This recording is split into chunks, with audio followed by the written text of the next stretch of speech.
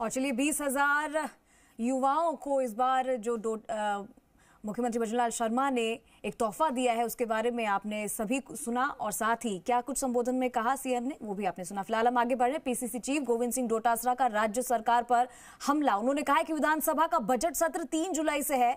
आपस के झगड़े इस्तीफे का नाटक दिल्ली की हाजिरी। किसी को जेल भेजेंगे इसी में इनका वक्त निकल गया। डोटासरा ने कहा कि झुंझुनू में सीएम ने कार्यक्रम भी किया पेंशन दी गई और पंद्रह फ़ीसदी बढ़ाने की बात की। उन्होंने कहा कि पेंशन बढ़ाने का कानून हमारी कांग्रेस सरकार ने पारित किया था। जो होती है, वो किसी भी सरकार की दो साल, ढाई साल, तीन साल बाद में हो सकती है, अगर कहीं अनबन होती है, थोड़ा बहुत समझ में नहीं आता है या समझता नहीं है इनकी तो छह महीने में बोलती बंद हो गई। कोई है मंत्री जवाब देने के लिए? दस दस दिन तो एक मंत्री को ढूँढने में लगा दिए लोगों ने कि भाई साहब हैं, कहाँ बताओ तो सभी छोड़ो उन मुद्दों को। प्राण भी नहीं जाना और वचन भी नहीं जाना जो होना हो जाएगा, हमें कोई तकलीफ़ नहीं है। हमें किसी से कोई तकलीफ़ नहीं है।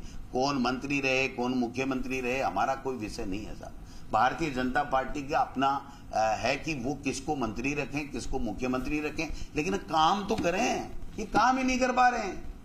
ये तो रोज़ाना हमारे कांग्रेस समय में जो हमने अच्छे काम किए, जो नौकरियाँ दी जो किसानों के लिए कर्जे माफ़ किए, जो पेंशन हमने सोशल सिक्योरिटी के लिए बढ़ाई और जो कानून पारित किए, और उसकी बातें कर रहे हैं, उसी के ऊपर अपनी तभी बेज खुद ही तपतपा रहे हैं।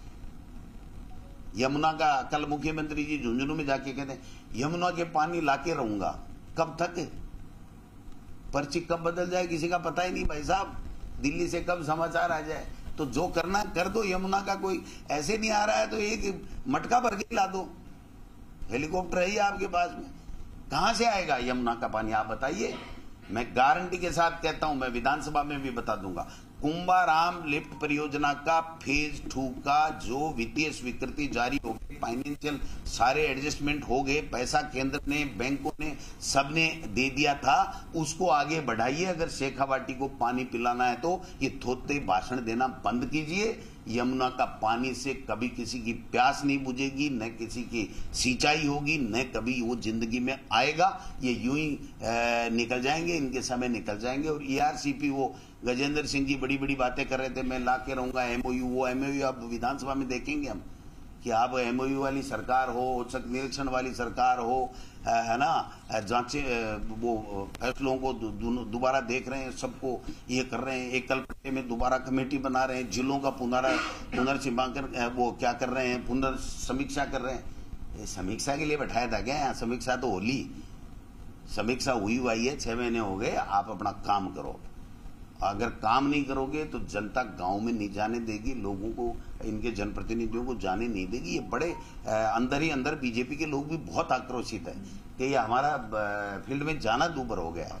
तो इसलिए हम सब लोग एक ही डिमांड करते हैं, राजस्थान की विधानसभा में हम सब लोग इनकी बोलती बंद करेंगे, क्योंकि इन्होंने कुछ किया नहीं है, इनका झूठ को उजागर करेंगे। कानून व्यवस्था नाम की चीज़ नहीं है। गरीबों के मकान तोड़ रहे हैं, घर तोड़ रहे हैं। अरे मुख्यमंत्री जी, आप अपने इलाके में किस किस से कितना कितना वादा क्या क्या वादा किया था, जिसकी वजह से हज़ारों जो गरीब है, उनके आप आसियाना उजाड़ रहे हो? आप अतिक्रमण हटाइए। हमें किसी अतिक्रमण से कोई प्रेम नहीं है।